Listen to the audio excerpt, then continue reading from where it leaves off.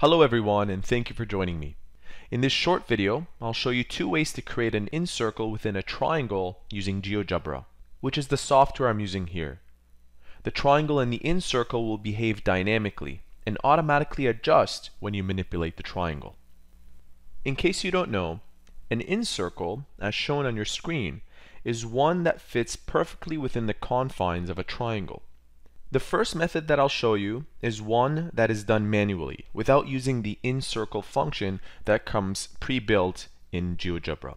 So let's get started.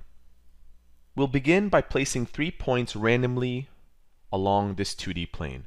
So let's place one here, one over here, and one down here. Next, we will use the line segment tool to connect these three points. And we do that by clicking the points from one to another, and finally one more line segment from C to A. The next thing we do is use the angle bisector tool. And the way this works is by clicking one of the vertices, then another, and finally the last one. We'll repeat this two more times.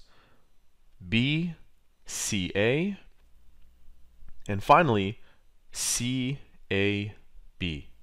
Notice what this does. It creates lines that pass through the vertex and ensures the angle is divided into two equal parts. Now we want to create a point in the middle. We'll call that point D.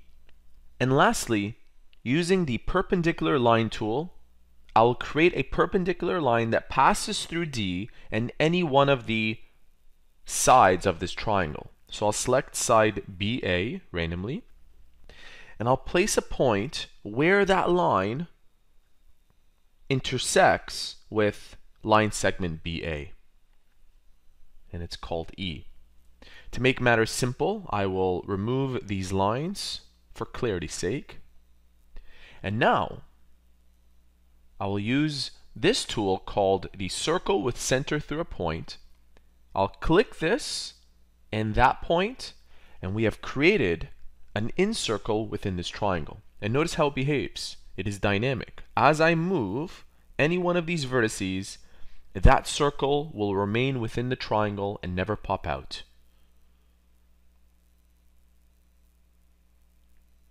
Now that's one way to do it. Another way to do it involves using the incircle function. So I'll go ahead and remove that circle along with point E and point D. Those are not necessary. And using the input of incircle, all you have to do now is state the points A, B, C. And that creates a perfect incircle within the triangle. And there you have it. Now you know how to create an app that has a circle perfectly embedded within a triangle.